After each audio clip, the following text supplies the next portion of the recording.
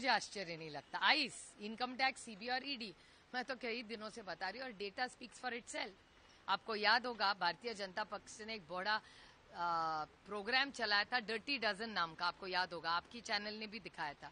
वो dirty dozen गए कहा? सारे डर्टी डजन जिनको भारतीय, मैंने नहीं कभी कहा है वो भ्रष्ट है। भ्रष्ट है या नहीं है, मुझे नहीं पता भैया।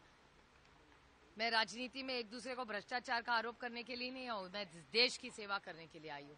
और सारे जिन पे भारतीय जनता पार्टी ने जिन जिन पे आरोप किए हैं, वो सारे आज बीजेपी या उनके मित्र पक्ष में है और मंत्री भी है।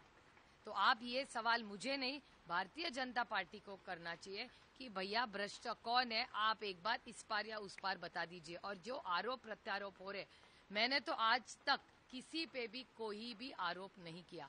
सबसे ज़्यादा आरोप किसने किए? तो भारतीय जनता पार्टी ने किए। उनके सारे मित्रों पक्षों का भी हिसाब लीजिए आप।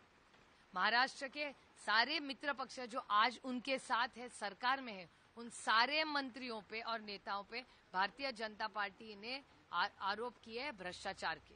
आप आपका चैनल का डेटा निकालिए पा, पाँच सालों का। अनिल देशमुख जो है वो कह रहे हैं जिस तरीके से सचिन वध ने जो स्टेटमेंट दिया है वो देवेंद्र फडणवीस की एक नई टक्ति हो सकती। कुछ भी हो सकता है। इलेक्शन जीतने के लिए लोग कुछ भी कर सकते